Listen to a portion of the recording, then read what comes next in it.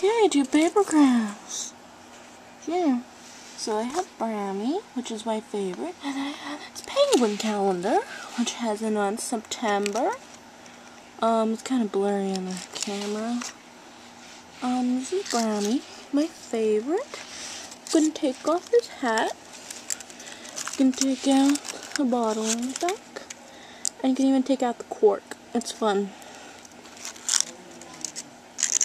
Put it in back in his back. Put his hat back on and he's ready to travel. And oh yeah, and just to let Ninja Toes know, I've made his Kim Possible paper craft. Oh, poor Brownie.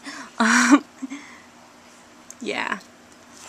And then there's just my Pullip over there. Yeah, she's wearing Danielle's clothes. Random lights.